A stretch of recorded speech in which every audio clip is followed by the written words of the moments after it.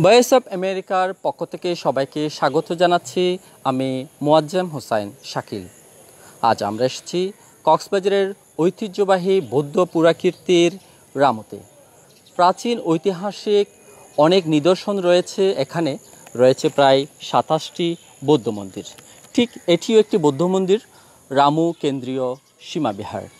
এটি স্থাপিত হয়েছিল সতেরোশো ছয় সালে সবচেয়ে বড় ট্রাজেডি হচ্ছে দু হাজার বারো সালের উনত্রিশ সেপ্টেম্বর রাতে ফেসবুকের একটি ছবিকে কেন্দ্র করে দুর্বৃত্তদের দেয়া আগুনে পুড়ে ছাই হয়ে গিয়েছিল এই ঐতিহ্যবাহী মন্দিরটি।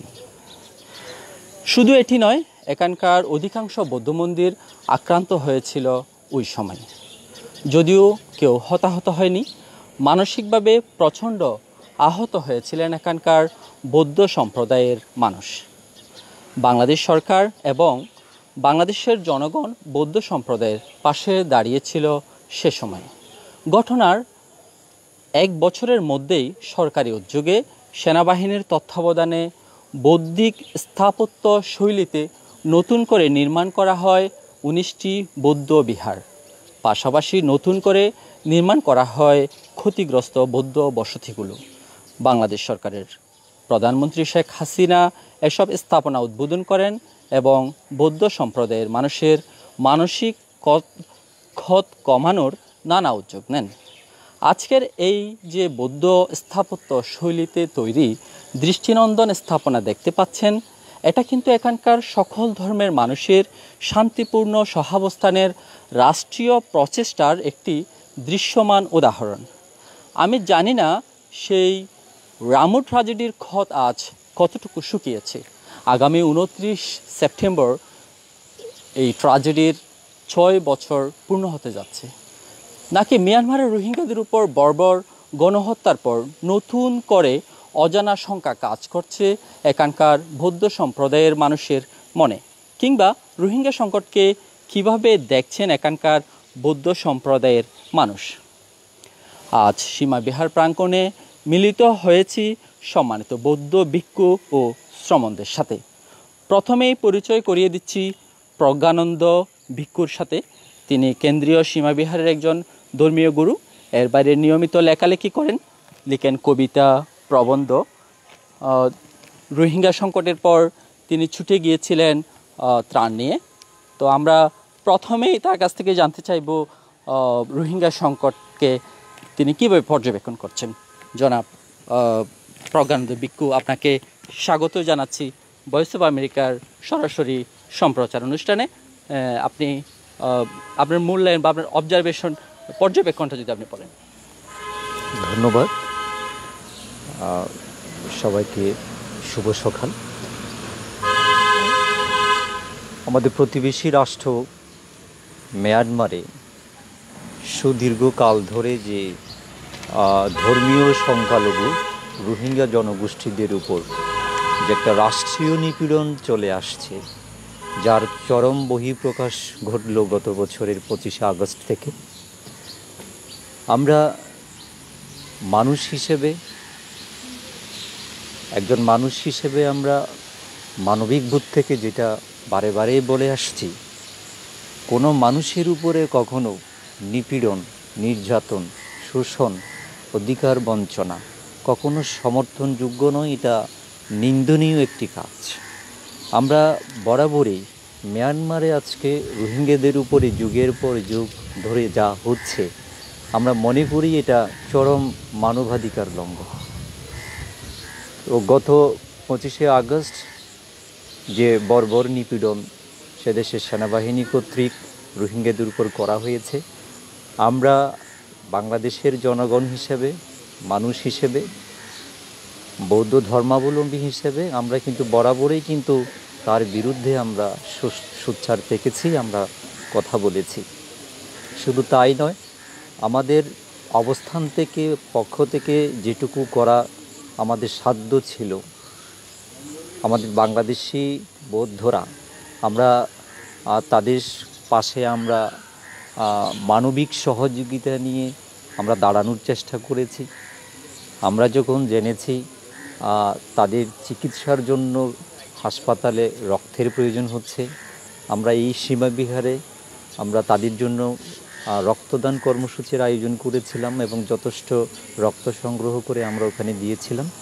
আমরা রাস্তায় নেমে সবাইকে সাথে নিয়ে আমরা প্রতিবাদ করেছি, মানববন্ধন করেছি এবং বাংলাদেশি বৌদ্ধদের পক্ষ থেকে বাংলাদেশস্থ মিয়ানমার দূতাবাসে স্মারকলিপিও প্রদান করা হয়েছিল এই নিপীড়ন বন্ধের দাবিতে।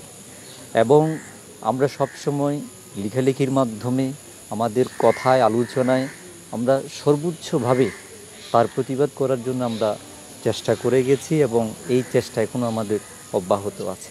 আমরা শুধু এটাই বলব, পৃথিবীর দেশে দেশে যে প্রান্তেই হোক মানুষের উপর যদি নিপীড়ন এবং নির্যাতন নেমে আসে, ধর্মের, বর্ণের, জাতি, সম্প্রদায়ের ঊর্ধ্বে থেকে আমাদের একটাই নৈতিক দায়িত্ব যে তার বিরুদ্ধে সোচ্চার হওয়া, কথা বলা, আওয়াজ তোলা, যেটা আমরা মিয়ানমারের বিরুদ্ধে আমরা চেষ্টা করছি এবং বলছি।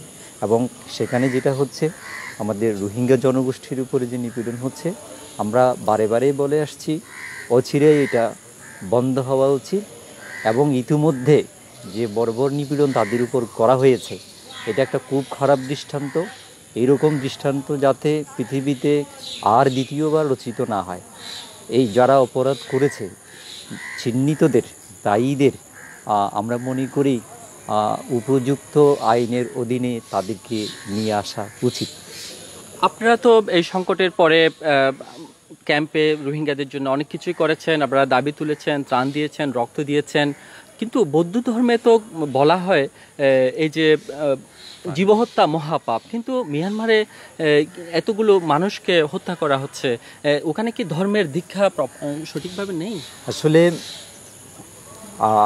আপনি যদি এটা মানেন যে পৃথিবীর কোনো ধর্মে কিন্তু নরহত্যা করার কথা বলা নাই।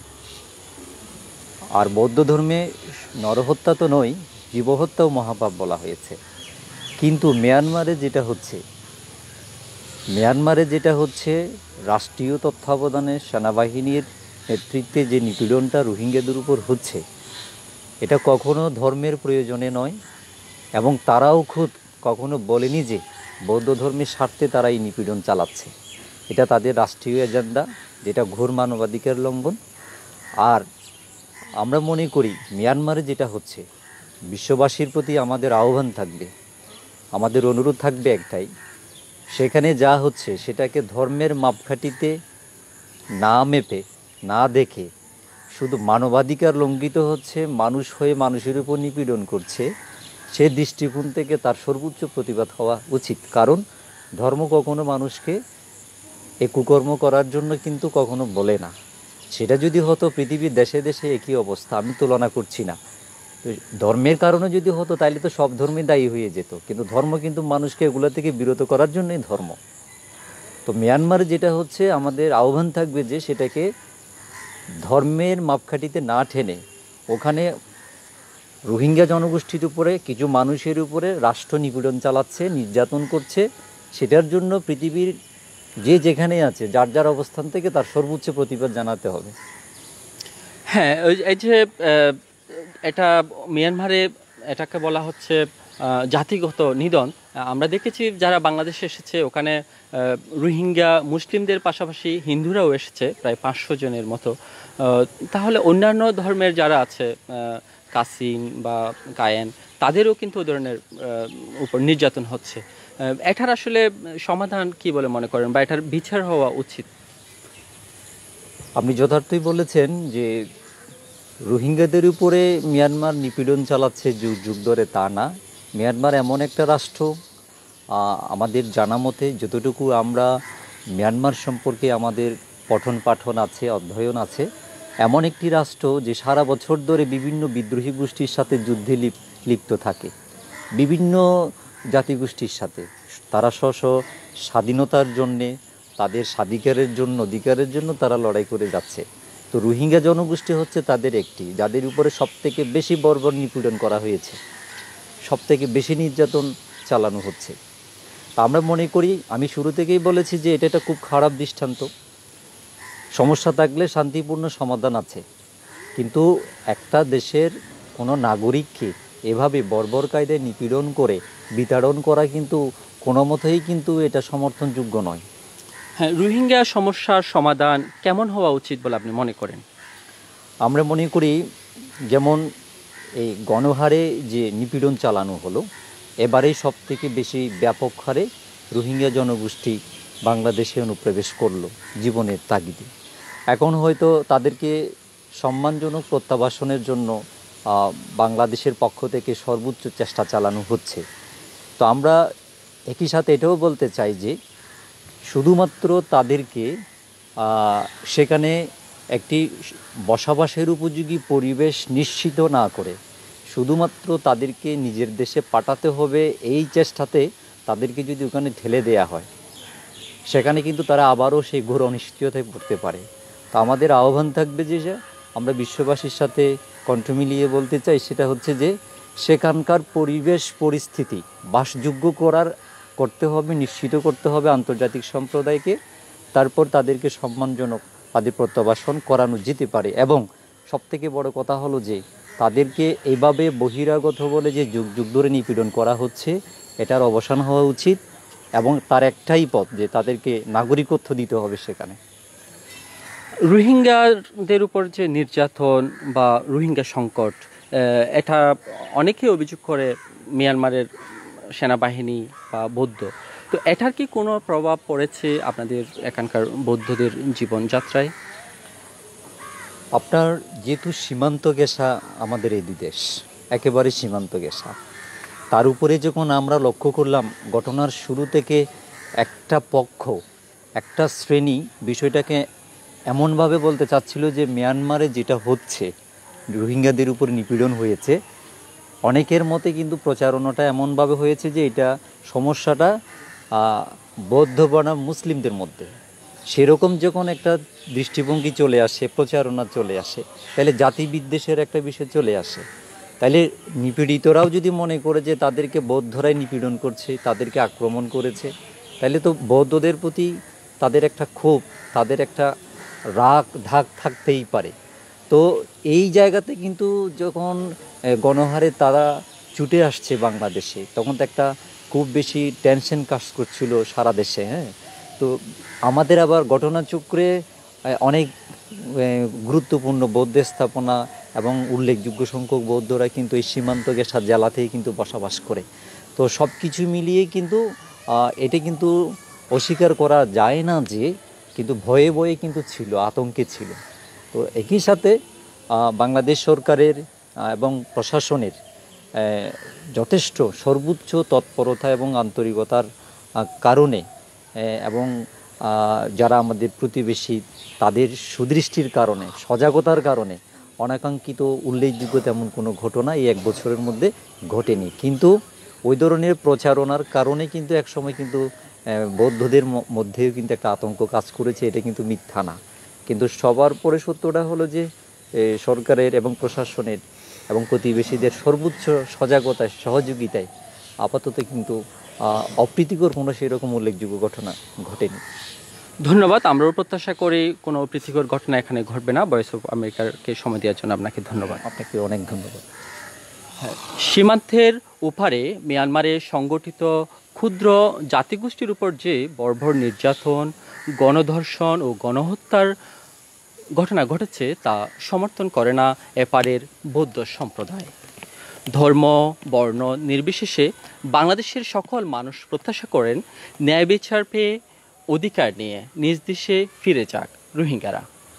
সকল ধর্মের, বর্ণের মানুষের শান্তিপূর্ণ সহাবস্থান হোক এই বাংলাদেশে।